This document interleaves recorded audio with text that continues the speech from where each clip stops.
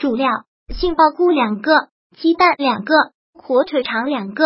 辅料：油、盐、鸡精。蒜瓣准备时间十分钟内，制作时间十分钟内。火腿肠切片，蒜瓣切片备用。杏鲍菇适量切片。锅中放油，油热放入鸡蛋煎，鸡蛋煎好放入火腿肠翻炒，火腿肠翻炒均匀放入杏鲍菇片，大火翻炒，放入适量盐、鸡精、五香粉，翻炒均匀，大火收汁即可出锅。